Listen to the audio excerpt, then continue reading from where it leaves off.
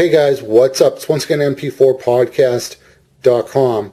And today we're taking a look at a very very interesting piece of software. It's uh, called Splashtop. And what Splashtop does, it uh, sends the image of your computer, your desktop or laptop, to your iOS device, iPhone or iPod Touch. There's also an iPad version, so there's two apps. They do the same thing, but you know, remember, it's not it's not a universal app.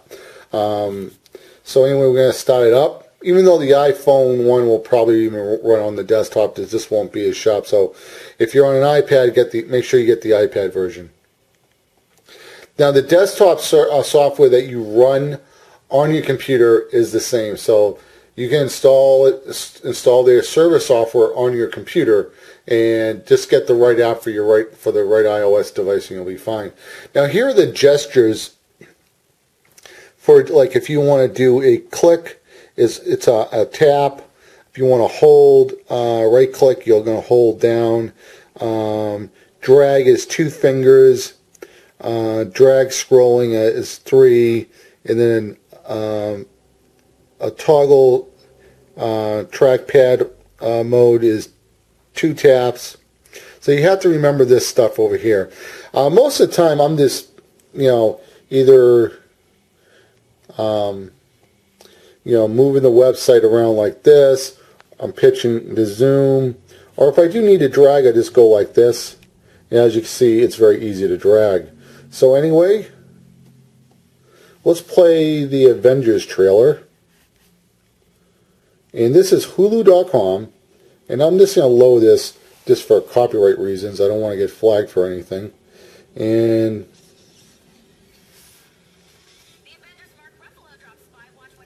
Oh, okay. It's it's that um, entertainment show. But as you can see, it runs perfectly fine. There's no lag or at all. And what we will do is now go into oops full screen mode. And we're going to shrink it down so it fits perfectly. And as you can see, it's playing perfectly fine. There's no lag. There's no frame drops. It just plays really nice. so anyway, what we're going to do now is we're going to exit this. Actually open up another window for the ad. So anyway, we're going to just close this tab over here. We'll close that and we're just going to go back to regular Hulu. and that works out really nice. So what we're going to do is, you know, scroll. As you can see right now, we do have, if that can get in focus, uh, here's, you know, you know, all my programs. I'm actually running Sony Vegas and Camtasia Studio. So, here we go. And the reason why my the pinching and zooming is a little weird for me because I'm putting my arm around the camcorder. Uh, so here is Sony Vegas.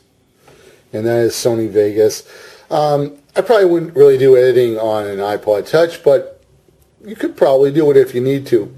One of the nice things about it is if if you uh, needed to walk away from Sony Vegas and you needed to render something, maybe you want to go out on your back porch or whatever you want to do, you need to upload a video to YouTube, you're waiting for it to render, you could actually wait for it to render, and then upload directly to YouTube because um, you know you can just drag it right into the regular browser. I use uh, Firefox and Chrome.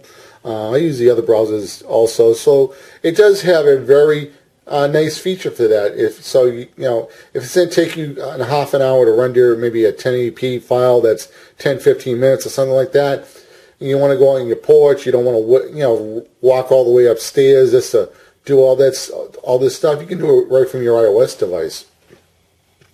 And uh, we'll take a look at Camtasia Studio. And as you can see, this is Camtasia Studio. All the features are here. I will say this, on the iPad, you really don't even have to do any zooming. It works out really, really well. But I'm very, very surprised in how well it works on my iPod Touch. I mean, the pinching and zooming works beautiful. Um, I'm never really frustrated, you know, trying to maneuver. around in Splash uh, Splash Top, it does work really nice. Um, but I'm just saying, it, you know, the iPad one is, you know, a little, you know, a little easier if you had to do like a little Sony Vegas or Camtasia Studio. Uh, but that is my Camtasia Studio. Um, but anyway, um, here is Firefox. And here's a popular site that I go to. It's a kind of a comedy photography, not really photography, but still images, Imgur, and I can um, go to YouTube.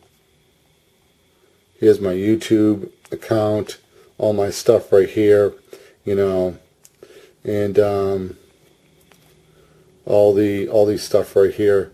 So, you know, I'll play a, a YouTube video just for a second. And here we go. As you can see, this is playing out pretty well with absolutely no problems. And it um, works pretty well. So we're going to close that for a second to stop that. I don't want to get flagged or anything, but um, here we go. And uh, we'll just, let's see, you need, if you need to type something in, you can just go like this. And um, we'll type it in. And type in I gn and we'll go dot com. And I'll make sure I,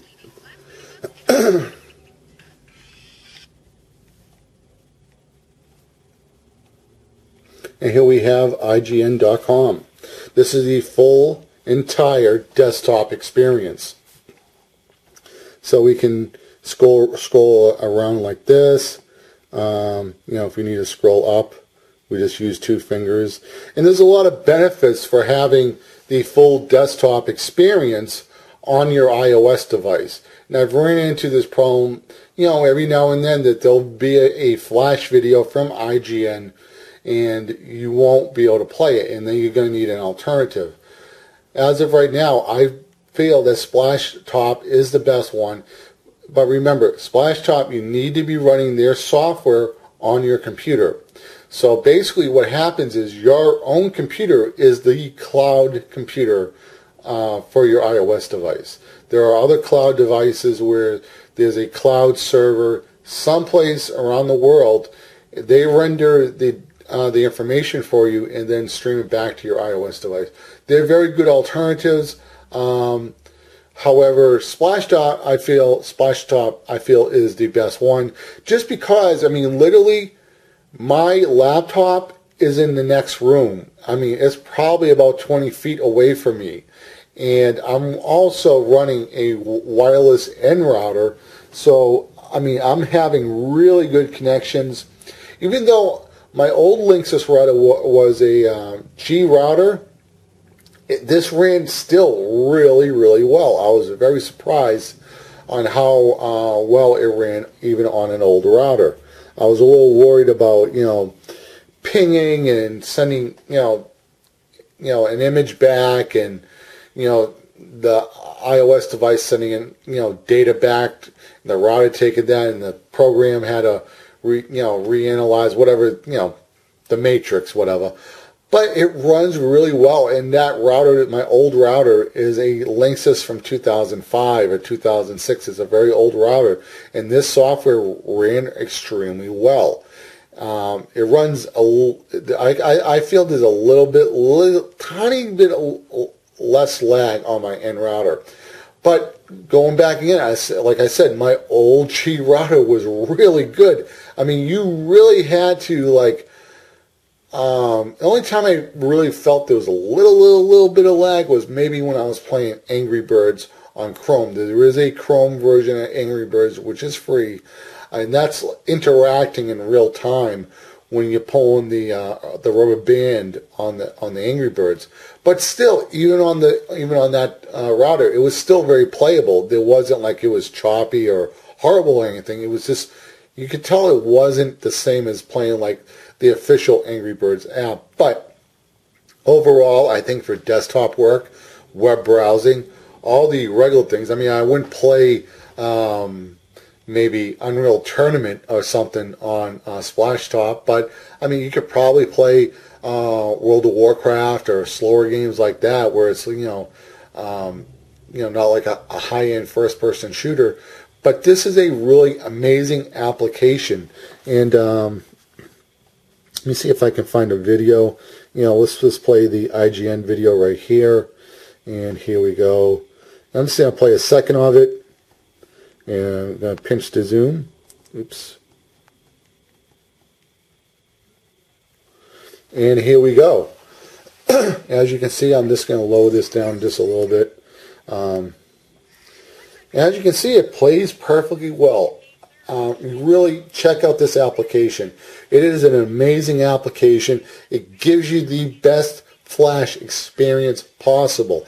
Now, another thing that I really do like about this this browser, I mean, well, it's not a browser. I was going to say it was a browser, but the best thing about this Splash Top technology is that one, we already know, even Adobe has said that they are not going to support Flash for any mobile devices anymore.